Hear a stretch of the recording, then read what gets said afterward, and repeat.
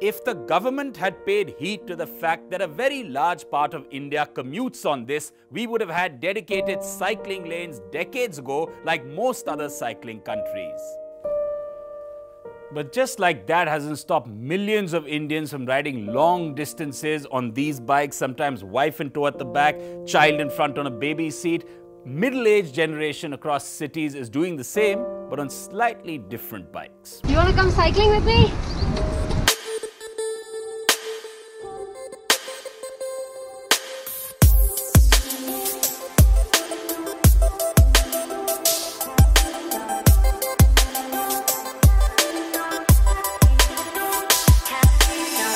What makes them do it? I want to explore places. I want to make myself feel that I've done something different in life at this age and stage with all my issues. I know that some of my happiest moments have been when I've been cruising downhill to a sunrise and you know there are birds flying and it's cool and the sun is rising. It's an amazing feeling and I feel really lucky that I can do this. So.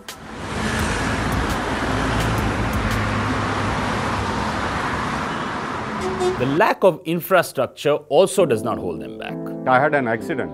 Uh, you know, it was a major accident. I was knocked down by a speeding car driven by a young girl, 21 year old, at 4:30 in the morning.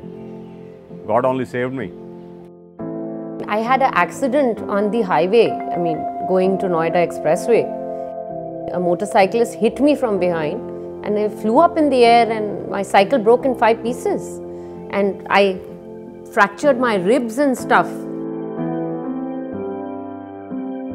We always try and ride with at least one other person or in a group because it is just so unsafe to ride on your own. I've had many accidents and uh, every time because I've been with somebody I've been able to be rushed to a hospital or you know taken to an emergency room very quickly.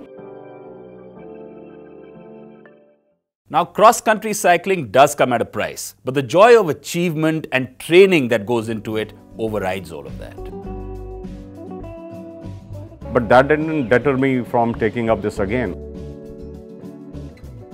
So I really don't know how cycling lanes can help alone. It's the attitude which has to change of the people. Cyclists socialize Sunday evenings because we don't ride Monday mornings. Uh, we don't socialize, at least I don't socialize Friday, Saturday because I ride Saturday, Sunday. I don't feel I've compromised very much because you know compromise really means that you feel that you have to give up something to get something. Uh, because I'm so keen on what I uh, on cycling and I'm so you know sure that this is what I want to do. I really don't mind not socializing. I really don't mind going to bed early. I think all that's good. I started cycling with my husband, with my son, and now, I mean, it's part of my system.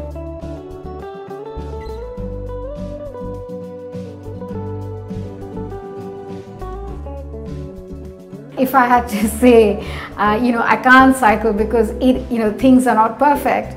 Um, I don't even know whether I get out of my house that way. I mean, I wouldn't do anything if I'm, I've got to wait, wait for everything to be just right. While I was cycling on a long distance, you know, someone asked me, you know, uh, it was a cross country uh, cycling, that what makes you to cycle uh, 12 hours a day, 14 hours a day?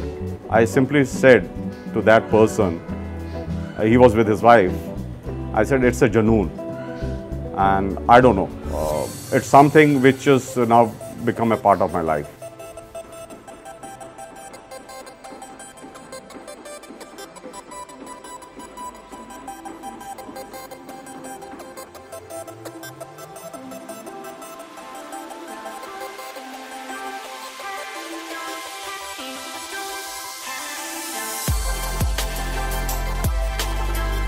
I sleep at 9, I get up at 4, people call me an old woman. People ask me, really? You sleep at 9? You eat your dinner at 6.30? You are up at 4, you eat your breakfast at 7.30? Are you serious? Are you normal? But that's the way I am. And this is a complete lifestyle change which has happened to me in 5 years. Now, some upcoming expressways like the Delhi Meerut one do have a lane for cyclists, but unless there are strict laws in place, there may be jeeps riding inside them instead of cycles. The fact is that all these recent celebrations around World Bicycle Day, this movement to get people to pedal instead of accelerate, all mean nothing unless the attitude towards cyclists becomes one of care and value.